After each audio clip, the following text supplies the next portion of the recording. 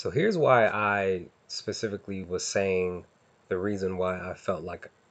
even after episode one, of watching episode one, why I felt like Asimov should have been a mainstay villain uh, for somebody uh, to to you know to be a villain for for Spike, um, and it's basically because of this this image here. When when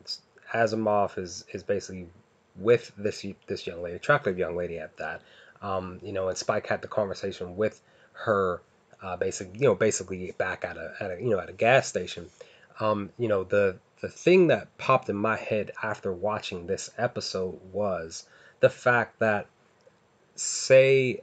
you know Asimov and her they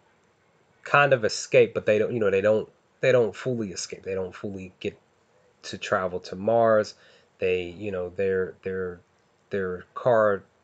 uh, spaceship here gets shot down and they go, they come back down to the planet that they're at right now currently. And you know they you know they're on the run. And and you know Spike has to still stop Asimov, but then still kind of like a like a sort of like a love interest between him and this young lady here is why I'm saying like if this were to occur because again this is just my first time seeing this anime and to see them the to see what happened at the end of episode 1 I you know kind of wish that the writers would have would have went in the direction that I'm talking about where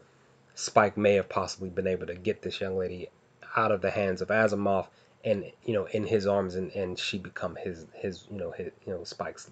uh, woman. Um, but again, you know that didn't happen, of course, with with specifically what happened at the end of, of episode one, which you know sucks big time. Um, and you know it just it just seems to me like to me at least that you know there was just a just a glimmer, like a small pinch of attraction between this young lady and Spike. Um, so that's why I'm just basically saying, guys, that you know I kind of wish that